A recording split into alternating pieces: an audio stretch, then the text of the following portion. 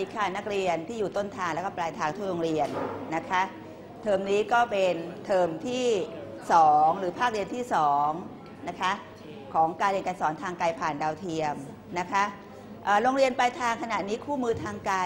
อาจจะยังไม่ถึงมือของโรงเรียนนะคะ เพราะว่าช่วงนี้ติดน้ำท่วมนะคะทุกที่เลยนะคะ ก็รอสักนิดนึงในเรื่องของคู่มือทางไกลผ่านดาวเทียมนะคะค่ะเเทอมนี้ เป็นวันเปิดเทอมนะคะวิทยาศาสตร์ก็จะเป็นชั่วโมงที่ 3 ของวันพุธนะคะมีอีกวันหนึ่งคือวันอะไรคะวันพุธกับวันศุกร์สองวันนะคะสองวันจะมีสองชั่วโมงต่อสัปดาห์นะคะเรามาพูดคุยกันก่อนว่าในเรื่องนี้เราเรียนในเทอมนี้เราเรียนเรื่องอะไรบ้างนะคะ คุณครูขอสไลด์นะคะค่ะ เออเปิดเทอมของเรานะคะ ก็เป็นการโชคดีตอนนี้ หัวหินเราก็ยังออน้ำยังไม่ท่วมนะคะ ยังไม่ท่วมเท่าไหร่แต่เราต้องระมัดระวังนะคะ ในเรื่องของน้ำท่วมทุกที่เลยนะคะ ขณะนี้หลาย ๆ พื้นที่หลาย ๆ จังหวัดนะคะ ก็เกิดอุทกภัยครั้งยิ่งใหญ่นะคะ ก็นักเรียนที่ปิดเรียน อาจจะเปิดเทอมวันที่ 14 15 อาจจะไม่ได้เรียนถึงวันที่ 14 15 2 สัปดาห์เนี่ยก็จะต้องเรียนเปิดทางไกลผ่านดาวเทียมย้อนหลังได้นะคะ เปิดจากอินเทอร์เน็ตนะคะเรียนย้อนหลังได้ด้วยตัวเอง อันนี้แล้วเราก็จะมี e-learning นะคะ e-learning ซึ่งเราสามารถเรียนย้อนหลังได้ทุกกลุ่มสาระวิชาในชั้นป .1 ถึงป .6 นะคะค่ะในเทอมนี้เราเรียนเรื่องอะไรกันบ้าง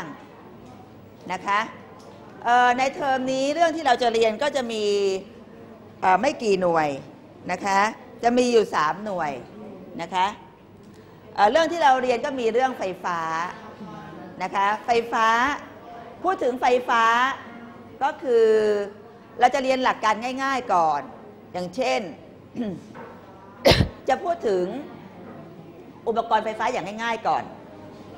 เช่นรู้จักอะไรบ้าง หลอดไฟอะไรอีก สวิตช์เซลล์ไฟฟ้าถ่านไฟฉาย สายไฟ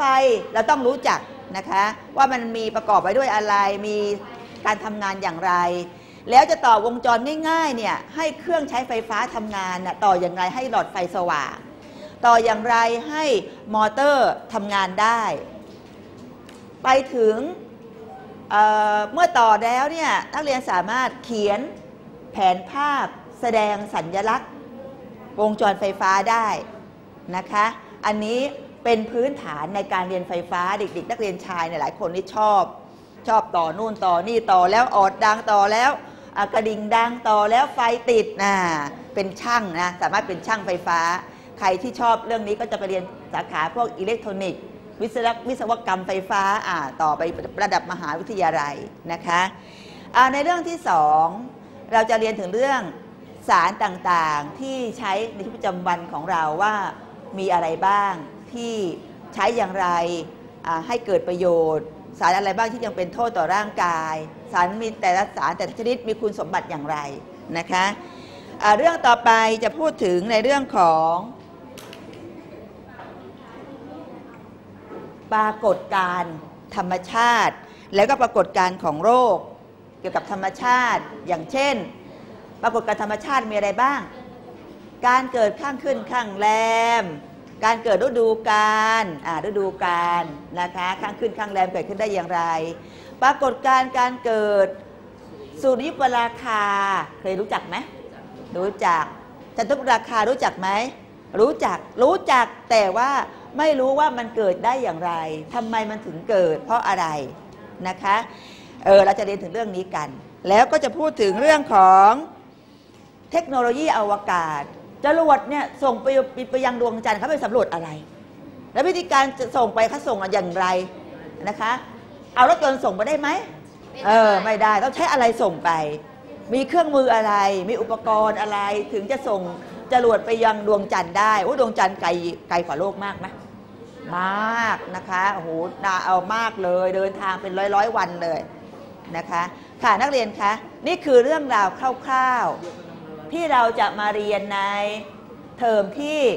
2 และขณะที่เรียนก็จะมีทดสอบก่อนเรียนด้วย เก็บคะแนน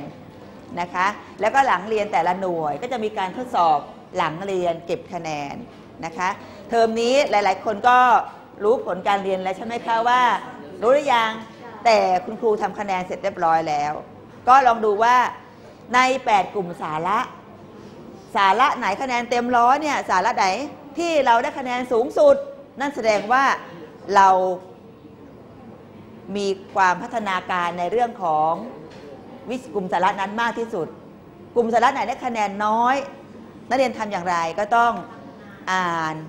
ตั้งใจเรียน อะไรที่สงสัยก็ถามครูให้มาก ๆ ให้เยอะ ๆ นะคะ ยิ่งถามมากยิ่งรู้มากอะวันนี้ชั่วโมงแรกก็ขอทดสอบก่อนเรียนก่อนนะคะอ้าวเขียนชื่อชั้นเลขที่เลยทั้ง เขียนชื่อชั้นเลขที่เลยค่ะ ทางต้นทางปลายทาง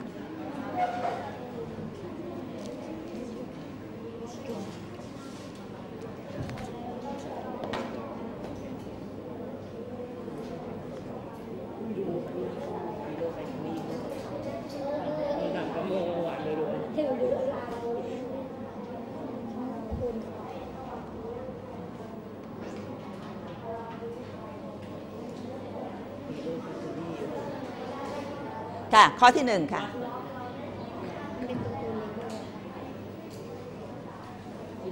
ค่ะ ทดสอบก่อนเรียนนะคะ